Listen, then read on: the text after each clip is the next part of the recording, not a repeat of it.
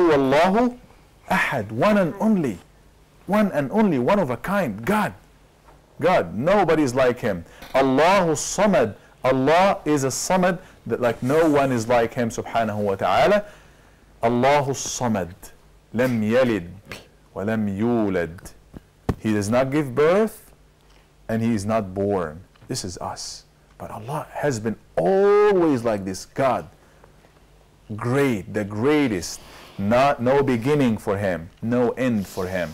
So jesus alayhi he had a beginning he had an end and all of that. It's not as they di- dis- dispute and disagree about it. it's so clear. He was created by god and even in, in the bible itself he said my lord. He was talking about his god allah the one who made him my lord my lord the one who sent me and so on